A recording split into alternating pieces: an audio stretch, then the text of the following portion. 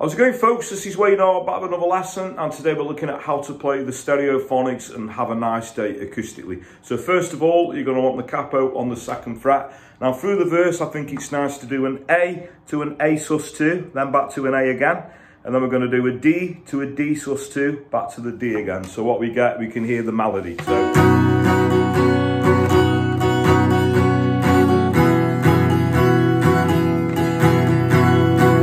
Okay, at the end of the verse, there's a G to a D.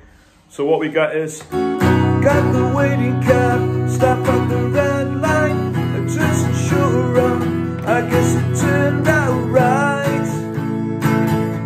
G to the D, and then the chorus is just A to D.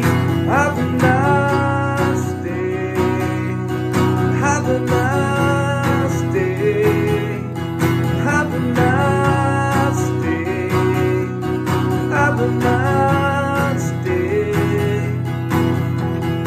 Okay, now there's one other bit of the song which is the guitar solo. So that's going to be an E chord for two bars. We go to a D, two bars, back to an E for two bars, and then to do one bar on a D, one bar on a D minor. So what we'd have is